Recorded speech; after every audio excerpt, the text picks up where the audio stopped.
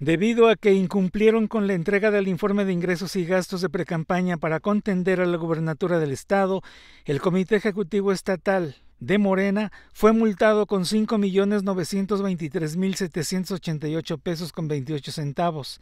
así como una sanción económica de 5.000 unidades de medida y actualización, UMA, equivalente a 434.400 pesos a Mónica Liliana Rangel Martínez, actual candidata a gobernadora.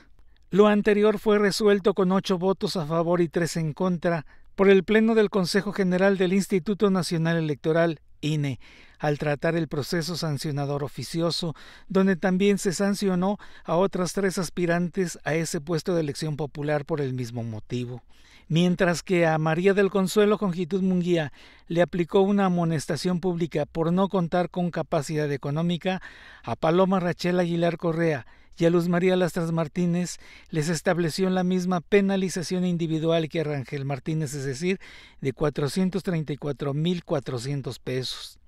En la exposición del asunto, Adriana Favela Herrera, presidenta de la Comisión de Fiscalización, argumentó que la Unidad Técnica de Fiscalización acreditó la existencia de propaganda de precampaña a través de procedimientos de monitoreo de redes sociales, pero esta se materializó cuando ya había concluido el periodo de precampañas para determinar candidaturas, lo cual implica una atenuante de la conducta. Puntualizó que ante lo avanzado del proceso electoral en San Luis Potosí, dado que el periodo de campaña para la gubernatura inició el 5 de marzo del 2021, se privilegió no afectar el derecho al voto pasivo de la ciudadanía en San Luis Potosí.